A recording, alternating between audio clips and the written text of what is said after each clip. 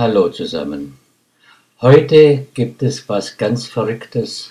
Heute gibt es Mürbeteig mit Resten aufgearbeitet. Ich habe noch jede Menge Mürbeteig in der Tiefkühlung und die muss raus und habe auch noch Ganachefüllungen von meinem Prinzen, vom schwarzen Prinzen und vom Schokoprinzen. Und das will ich jetzt alles mal verarbeiten. Es sind ja alle hochwertige Dinge und die kann man nicht einfach nur entsorgen. Also Mürbeteig, zwei Sorten, einen weichen und einen normalen, 1, 2, 3 Mürbeteig. Gut mischen, auftauen natürlich zuerst, gut mischen und dann kann ich den ausrollen. Und da er ja nicht mehr ganz kalt ist, brauche ich etwas Mehl dazu. Ich wusste ja von vornherein nicht, was ich machen will und habe einfach mal angefangen und hier mal ein kleiner Trick auf Weihnachten hin. Ihr könnt Mürbeteiggebäcke, flache Gebäcke, alles übereinander legen, nicht zuerst ausstechen und dann gleich in den Ofen, das muss nicht sein, das lenkt nur ab. Und deshalb habe ich erstmal alles vorbereitet, ausgestochen, übereinander gelegt, die Mürbeteige, vielleicht etwas Mehl dazwischen. Und dann hier habe ich einen 18er Ring Mürbeteigboden. Für was ich den verwende, das weiß ich noch nicht. Das muss ich mir erst mal überlegen. Aber auf jeden Fall, der Boden wird schon mal vorgebacken.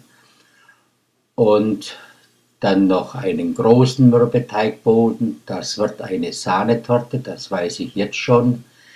Ich habe sie auch schon gebacken in der Zwischenzeit.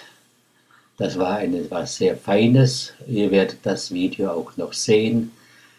Das war dann die Johannisbeer-Sahnetorte mit gefrorenen Johannisbeeren. Den Rest vom Mürbeteig, den mache ich jetzt in kleine Stangen. Nicht zu dick, nicht zu dünn. Gleichmäßig ausrollen Eistreiche dazu, also ein Ei verkleppern und dann einstreichen und dann einfach nur Hagelzucker drauf, etwas andrücken, einteilen in kleine Stücke und aufs Blech legen, beziehungsweise aufs Backpapier und das kommt dann auf die obere Schicht von meinem Mürbeteig-Sortiment, das ich schon ausgestochen habe. Und jetzt kann ich den Ofen einschalten und backen. Hier seht ihr alles schön übereinander. Es nimmt wenig Platz weg. Und jetzt kann ich mich aufs Backen konzentrieren. So, das ist die ganze Ausbeute und jetzt geht's los mit Ausbacken. Goldgelb backen bei 170 Grad etwa Umluft dann verteilt sich die Hitze wunderbar und die Gebäckstücke werden dann nicht schwarz an der Seite und nicht ungleichmäßig gebacken. Und in den Ofen können dann auch gleich zwei Bleche auf einmal eingeschoben werden. Vielleicht muss man sie mal umwechseln, das eine nach oben und das andere nach unten. Das werdet ihr selber sehen. Ihr wisst ja, wie euer Ofen bäckt. So, und alles auf die Seite alles vorbereitet. Die muss ich etwas losschneiden. Durch die Eierstreiche kleben sie etwas auf dem Backpapier. Schön goldgelb gebacken, auch unten der Boden. Und jetzt kann es losgehen mit dem Füllen.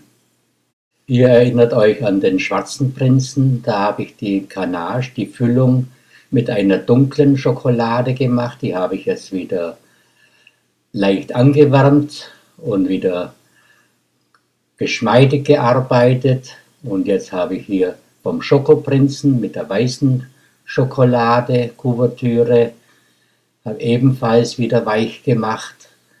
Und jetzt wird das einfach draufgeklickst und Deckel drauf mit Loch, dann schaut es auch schön durch. Meine Schokoladefüllungen sind aufgebraucht, ich habe noch Mürbeteigstückchen übrig also etwas Marmelade, hier Aprikosenmarmelade, kurz aufgekocht, ein Klecks auf das untere Teil und dann obendrauf abdecken. Und jetzt habe ich immer noch was über. Jetzt wird es etwas eng. Ich habe keine Füllung mehr, also muss ich etwas herstellen. Und da nehme ich einfach Puderzucker und Eierlikör und rühre da eine dicke Glasur an. Ich war etwas zu schnell. In diesem Moment kommt die Prinzessin mit ihrem Papa auf Besuch und ich hatte ganz schnell einen Abnehmer für mein Gebäck. Allerdings das mit dem Eierlikör, das war nicht für die Kleine gedacht, das ist nichts für kleine Kinder. Und so habe ich ihrer Mama extra ein Paket gemacht und ich war alles los und euch wünsche ich beim Nachbacken viel Spaß und gutes Gelingen. Tschüss! Natürlich habe ich sämtliche Rezepte unten verlinkt. Ihr könnt sie euch ja nochmals anschauen. Ja, tschüss nochmals.